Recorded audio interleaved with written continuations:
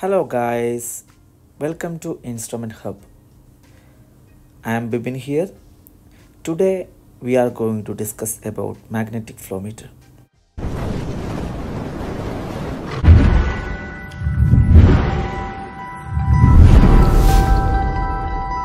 It is transmitter. This device sending to signal from field to DCS.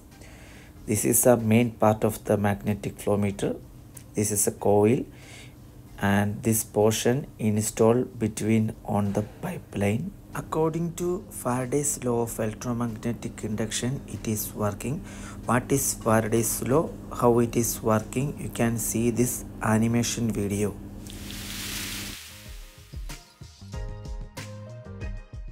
Two field coils are located inside each electromagnetic flow meter. With the help of what are termed pole shoes, these coils generate a constant magnetic field over the entire cross-section of the measuring tube. Two electrodes which can pick up electrical voltages are installed at a right angle in the wall of the tube.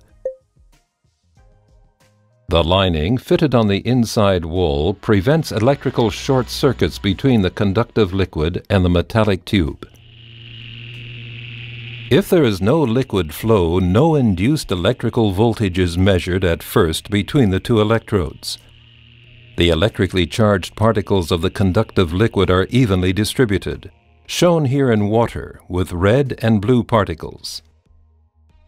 However, as soon as the liquid starts to flow in the measuring tube, the magnetic field applies a force to the charged particles. As a result, the positively and negatively charged particles in the liquid are separated and collect on the opposite sides of the tube wall. Now an electrical voltage forms, which is detected and measured by the two electrodes. This voltage is directly proportional to the flow velocity in the pipeline. Together with the known tube cross-section, the flow volume can then be calculated.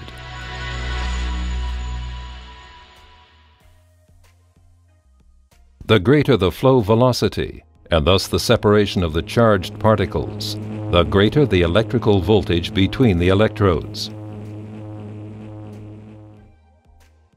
The electrodes also detect what is called interference voltage, which has to be separated from the actual measuring signal. One method that has been successfully used for this purpose is to create the magnetic field with a pulsed direct current. To do so, the polarity of the magnetic field is alternately reversed, illustrated here in slow motion. The voltage picked up on the measuring electrodes now constantly changes in polarity. As a result, all constant interference voltages can be eliminated. For example, electrochemical effects in the liquid or external electromagnetic fields. Thus, the size of such interference voltages has no impact whatsoever on the actual measuring signal. The advantages of this are a stable measurement.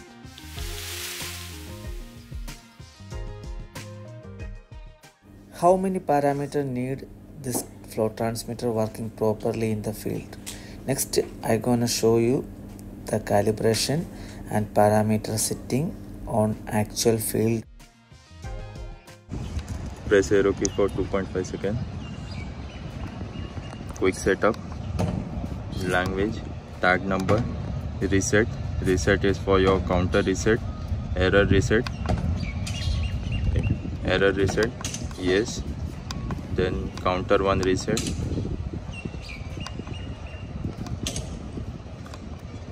counter one reset yes counter two reset yes ये हो गया। then we have to go back. This analog input. Flow unit. Flow. Volume flow. Mass flow. Will be there. Unit will be meter cube per hour. Range 0 to 1250 low cutoff frequency. Time constant. Okay this much parameters we have to feed. Then we have to go back. Digital output we are not giving it. So okay then you have to come on the test. Uh, test test is for the stimulation. You go in test if suppose you are not getting 4 to 20 milliamps you can stimulate from here and check the cable sensor cable everything is the information stimulation process. Then setup in setup we have a process input. Here is a calibration filter self test. Okay. Enter the self test. You have to do the empty pipe detection conductivity plus empty pipe so once we install the new sensor we have the pipe is empty and the conductive sensors which are installed there. So you have to just mention conductivity plus empty sensor. So automatically it will come to zero. So this is the only setup we have to do in Krohne ये 1fc 100 sensor is Krohne 1fc Next 100. calibration method is key password and go quick setup and setup process input. We can see the calibration of side option inside. Then going calibration. Then zero calibration will going to perform.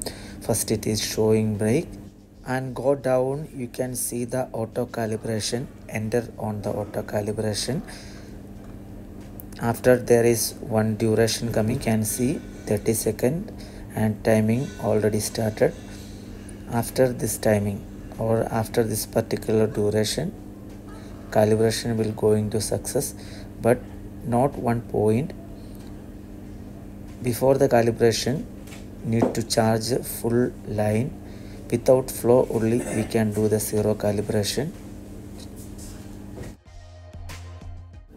Next have a look for cable connection.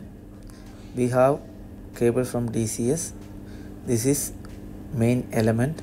That means coil inside have a connections as well as we have transmitter. Transmitter also we have lot of connections. This transmitter connection first is 24 volt dc it is the main power of this flow transmitter. And uh, this is dcs analog input cable. And next coming coil cable. And uh, and the last one is electrode cable this all cable before the installation we need to proper connection and check from field to dcs